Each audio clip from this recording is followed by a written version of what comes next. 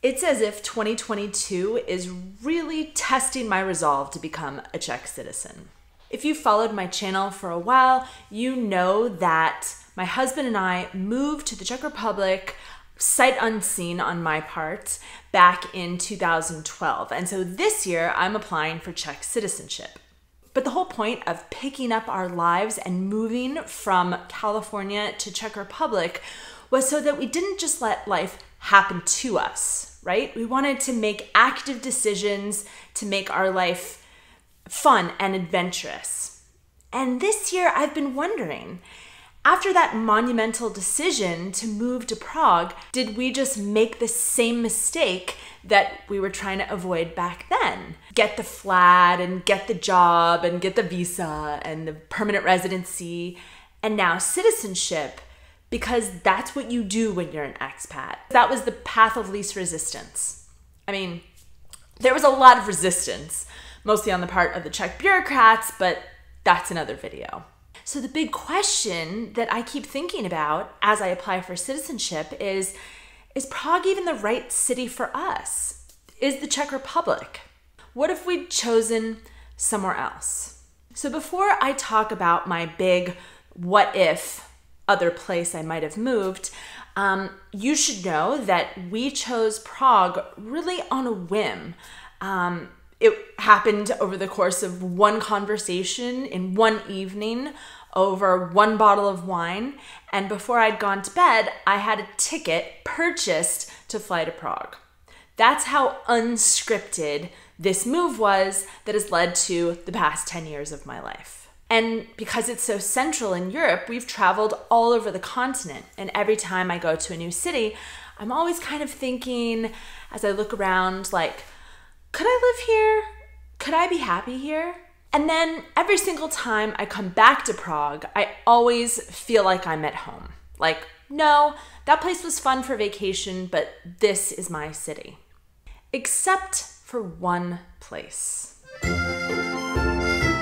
John and I went to Amsterdam last month to run a half marathon, and this was my third time in the city. And every time I go there, my love for the Dutch and the Dutch culture, and particularly their city, deepens. I mean, as far as charming and magical cities go, you can't get really better, in my opinion, than Prague and Amsterdam. But the choice to move to a city should be based on more than, you know, charming lopsided apartments, or in the case of Prague, you know, majestic castles and monuments and pastel colored buildings. Living in a place is so different than visiting a place as a tourist. So, in this, my third trip to Amsterdam, I really tried to focus in on the things that matter to me in a place to live and really try to compare the two. What about Prague is better and what about Amsterdam is better. And so that's what I'll get into in this video. So I didn't choose to live abroad just so I could blather on in English. Um, struggling in the native language of the country is part of the adventure. But um, struggling doesn't even describe learning Czech. I mean, Czech is just a next level difficult. And not only is Dutch easier than Czech, the Foreign Service Institute says that it takes a little bit more than half the time to learn Dutch than it does to learn Czech. But the Dutch people's English is flawless. I'd put it better than a lot of Americans. And when you're struggling in the beginning phases of moving to a place, even the first couple of years, before you know how to conjugate verbs, when you're speaking to bureaucrats and your landlord, it would just be so easy to be able to communicate with them in English. So this one's gonna have to go to the Dutch. I'm gonna go out on a politically incorrect limb here and say that the secret to having really good food in your country is your history of colonialism we really got a taste of some unique food we'd never tried. Surinamese food, if you can find it, eat it all.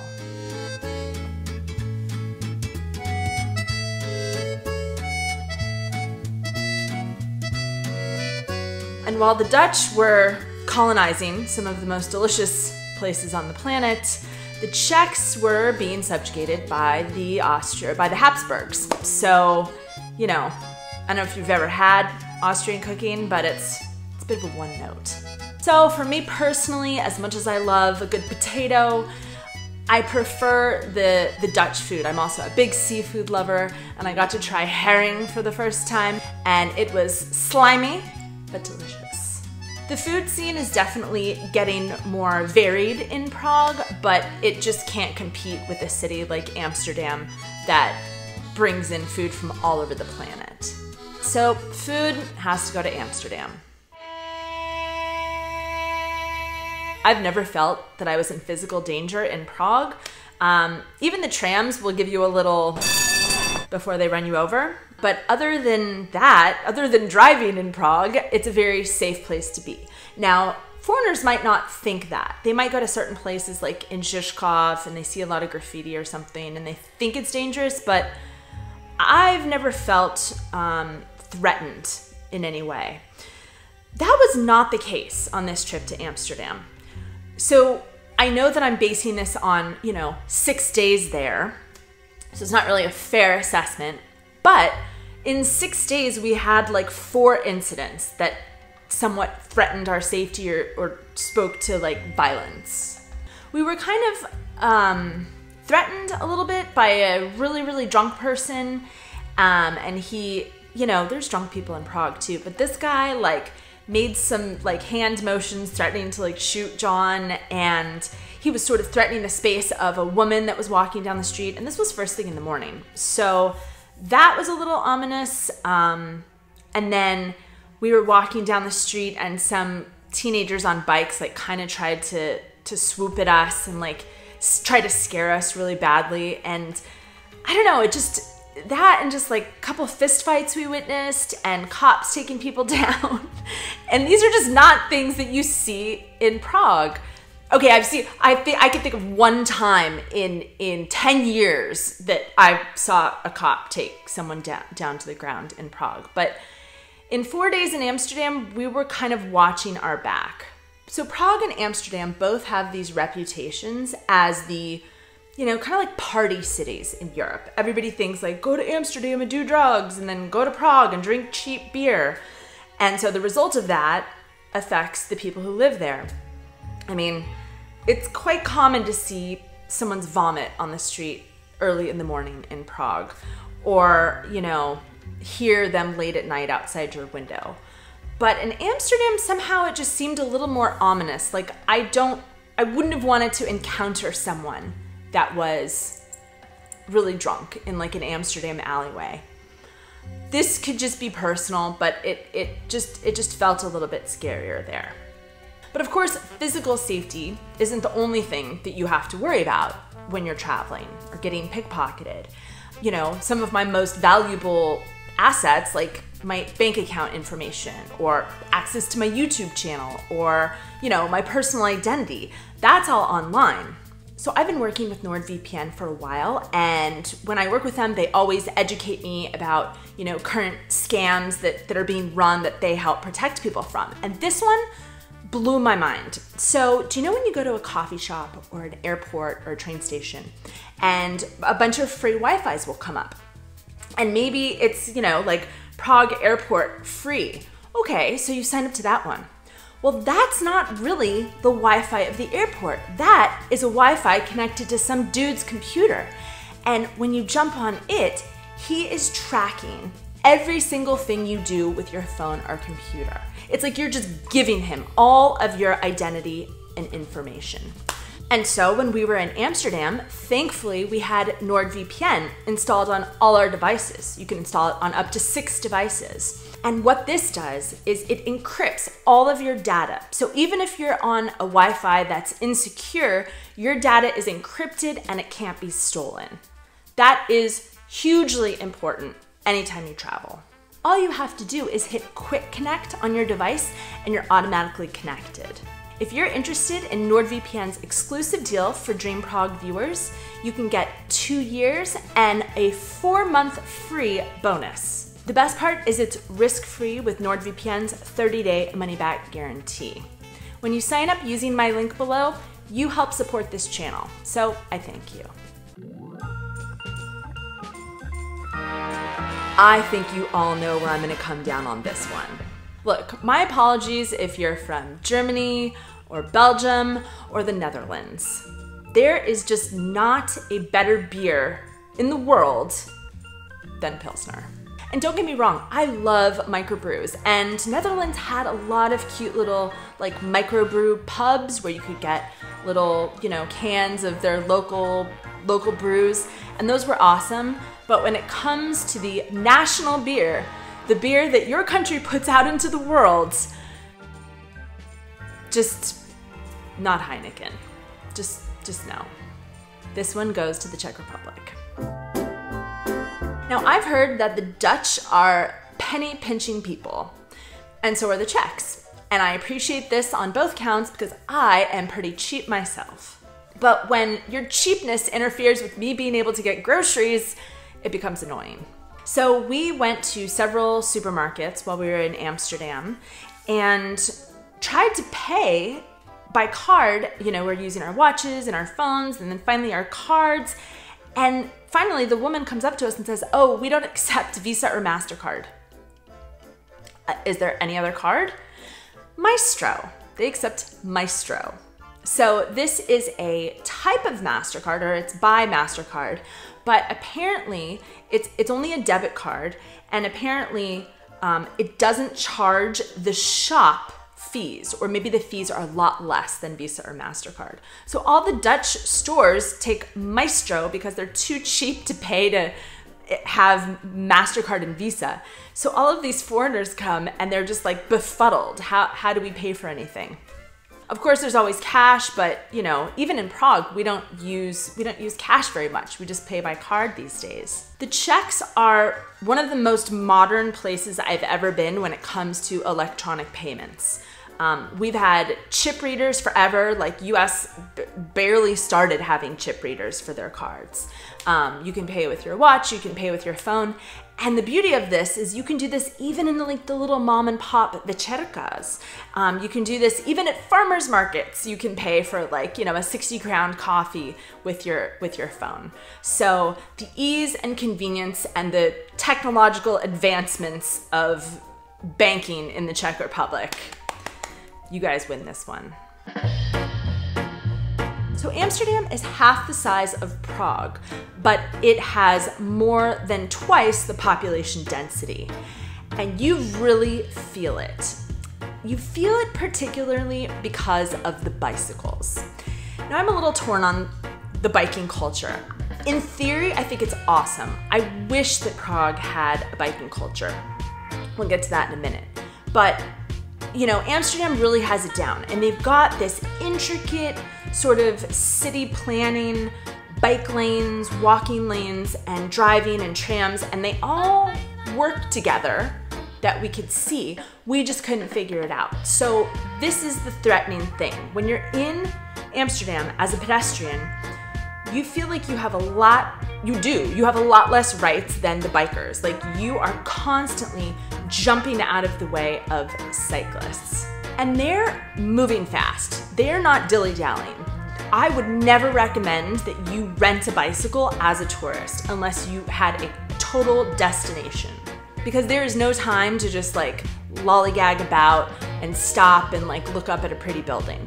Bicycle riders are aggressive and they're everywhere.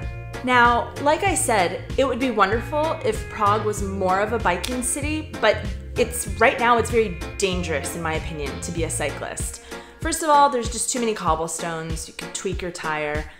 The sidewalks are wide, but they're not meant for bicycles. Um, and the roads, there's just no room for them. It's just not a city that's that's built for cycling. We do have a lot of these rental bikes and rental scooters popping up, but man, they need to figure something out because they are just they're left everywhere or the you know the tourists they kind of like ride full speed down the sidewalk in the wrong direction, leaving the pedestrians kind of like jumping out of the way. There's just not the same system that they have in Amsterdam. So I'm gonna have to give this one to the Dutch because they figured out how to get, you know, 300,000 people out of cars and to, to bicycle instead, which is wonderful. But as far as the comfort and ease of being a pedestrian in the city, this has to go to Prague. Prague has excellent public transportation. I'll get to that in a minute.